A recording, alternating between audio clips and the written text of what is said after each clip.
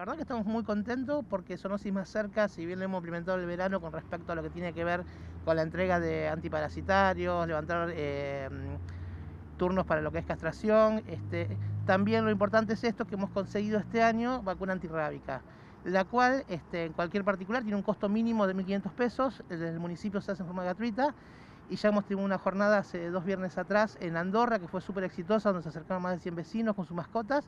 y este viernes vamos a estar de las 8 de la mañana a 18 horas en lo que es el centro comunitario del barrio Caupem. La idea es que se puedan acercar, a nosotros nos sirve también porque hay cuestiones zoonóticas o de salud este, de por medio, lo que es salud pública, eh, por un lado, por el otro lado también nos permite charlar con los vecinos mano a mano, plantearle la necesidad y la importancia de la castración de, sus mascotas, la entrega también de lo que es este, antiparasitarios y a su vez en el caso de los canes de chipearlo en el caso de ser necesario si no están chipeados.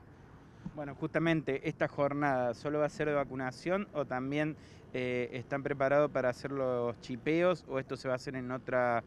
en otro día. Buenísima la pregunta. En realidad hacemos todo, menos la castración, que es lo que hacemos levantar los turnos, hacemos todo. Hacemos la entrega antiparasitario, se chipean los canes y se vacuna eh, con la antirrábica. No obstante, las jornadas de, la jornada de zoonosis más cerca, es importante también remarcar que en el caso del quirófano móvil que se encuentra en el barrio Pipo, en lo que es Río Turbio, con la intersección de calle de la estancia, de lunes a viernes de 11 a 15 horas se está vacunando con la antirrábica. Y en lo que es la dirección de Sonos y Pitodumas 220 se hace de las 7 de la mañana a 19 horas, cualquier vecino se acerca con su mascota. Bien, ¿y qué, cuál es la situación actual de los perros sueltos en la calle? ¿Le llegan algunas eh, consultas de los vecinos o quejas? Sí, constantemente, digamos. Lo cierto es esto, digamos, si bien ha bajado la intensidad de lo, que fue en el 2016-2017 con la cantidad de canes sueltos, sigue siendo un problema la, cuestión de los canes sueltos, digamos. Desde Sonosi siempre planteamos dos cuestiones, una que tiene que ver con la cuestión de que los perros comunitarios no son tales,